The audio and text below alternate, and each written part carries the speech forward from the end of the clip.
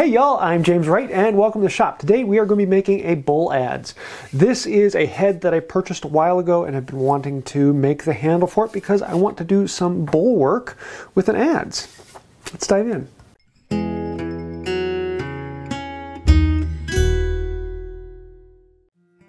I purchased this bowl adze on Etsy from a guy in Germany, I believe it was.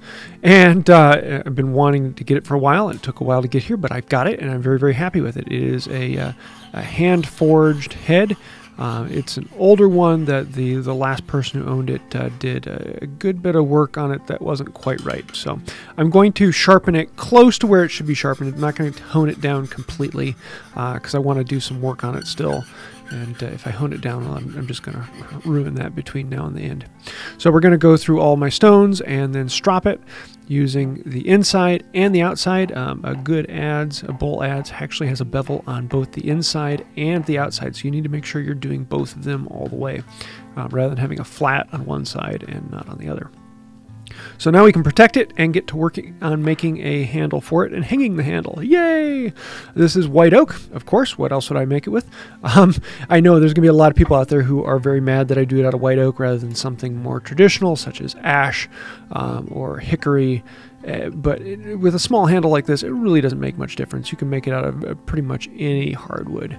I'm just going for a shape that is about what I want. There really is no right or wrong shape for a bowl adze. They tend to have a lot shorter handle than you expect. Um, so once I lay it out and draw it out, then we can start chopping it. Um, so I'm going to get rid of a lot of the, uh, the material uh, just by using a hatchet to break it out. this is this is one of these steps where you know hatchet and adze works. It's not something I've had a whole lot of work with, and I, it's one of the things I need to do a little bit better. Uh, it would actually help if this hatchet were sharper, um, but I was crunched on time for this, and uh, yeah, I probably should have still taken the time and sharpened it. But we're going to take off most of the material that way, and then here you can see just how dull this thing actually is. We're going to remove a good chunk of the material and chips out this way, and this will get us close to our shape. Um, because some of the shape is actually an inside curve and fairly steep, um, I found it easier to then come in and saw down to depth and chisel out the waste. Uh, I know some people really don't like this method, but I find it to be very fast and very efficient. Uh, and so I, I like cutting down to the line, and the line is actually on the other side of the board. And then you just come in with a chisel and pop out these pieces. It goes incredibly fast, and uh, you get close to your line very, very quickly. And so this is this is a method that I like using um, as, as often as I can most of the time. So now we have a very, very rough shape on this. We need to outline where the head will be place it on there and mark around. This one is actually pretty close to circular, so it's, it's not going to be straight on. Um, I had a clip of cutting in the shoulder all the way around, uh, but apparently lost it in the editing. So I'm going to cut in around the, the shoulder and then come into that line and shave it back right to that line. And I'm just going to occasionally check it with the head and make sure I'm where I want to be. I just want to stay away from the line as long as possible. Once I get it down close to where I want it to be, I'm going to try and pound the head on, and that will actually mark the top of it with exactly where it is, not just where the marker is, but that will, uh, will budge off some corners so that I can get down there.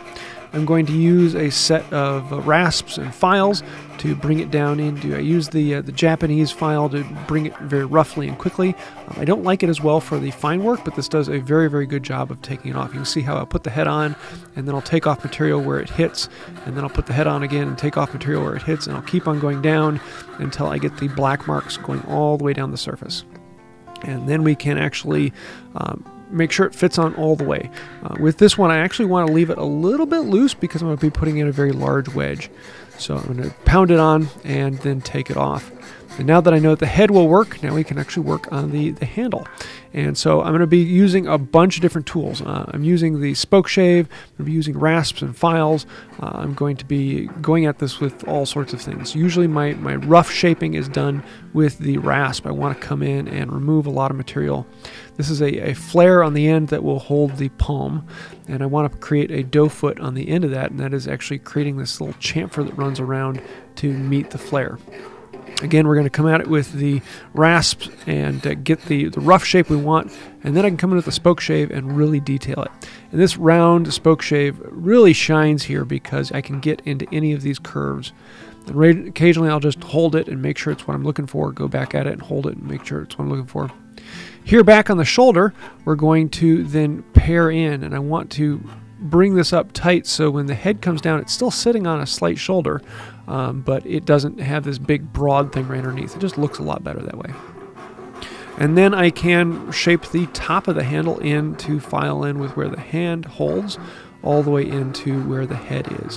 And I want this slight flare out where the head is, so it takes a little bit uh, a little bit of time to, to shape that out right. The four in hand is a great tool to use. You can actually use flat and round and has the aggressive rasp as well as the fine. And then to fair it out, I bring in the rough sandpaper on a bow sander.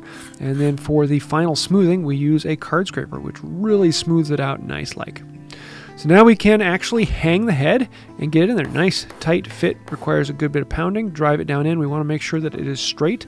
Uh, in this case, it wasn't quite straight, so a few taps to turn it slightly because the head isn't um, elongated, it is ever so slightly round.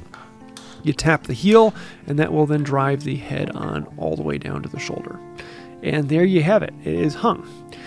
Now we want to put in a wedge, and I had this round wedge. Normally I split it and, and put in a straight wedge both ways, but this round wedge actually works really well. So I can set it down on there, tap it down in, and there you go. We have a head that will not come off. Oh, oh, oh, now it is time for the happiness. Boiled linseed oil. Yes, um, there are a few things that I like as much as homemade boiled linseed oil on white oak. It just brings out all of the character and texture in the wood and is very, very, very pleasing. You also notice that the handle isn't perfectly symmetrical and round. It's actually offset one way or the other so that my right hand fits it. Um, so where my pinky wraps around, it's lowered it a little bit more. Where my thumb wraps around, it's lowered a little bit more there. So it actually has a good fit to my hand. And that's pretty much the adze. We can take the tape off and take it for a test drive. Uh, oh yes, I need to put on paste wax. So we do the boiled linseed oil several coats and let it until it stops soaking that in. And then I'll put the paste wax on, let it um, set on until it hardens up a bit, and then wipe it off and polish it. And here is a chunk of stump that I've had uh, in the shop. I don't know what I would want to do with it, but it would make a good chance to to do this. Now I'm also probably going to want to make a, uh, a bowl carving uh, bench here soon. This would make this a lot easier rather than laying, laying here. You can see it's still pretty dull. I need to do some more uh, uh, some more work on it to really true it up. But we'll be doing that later when we actually get to using it. So looking forward to making some things with this. Hope you liked it. Happy! There you have it, a bowl adze. This is intended for doing most of the work on a bowl, cleaning it out. And with a skilled hand, this does incredible work. Uh, you can get someone who gets almost a, a, perfectly clean finish with an adze. I still have some more work doing honing this before I actually get into it, but I've got a couple blanks that I want to do some bowls with. So we'll probably see a video of that coming up sometime in the next year or so. So this has been a lot of fun to kind of play with and experiment with how it, uh, how it feels. I'm really looking forward to actually using it. If you have any questions or ideas, let me know those down below. I'd love to hear your ideas what I should do differently. There are lots of different ways to make handles um, and, and, make them fit the design and shape. So I'm looking forward to seeing your comments on that. I do read through all of them and I get a lot of ideas for future projects on that.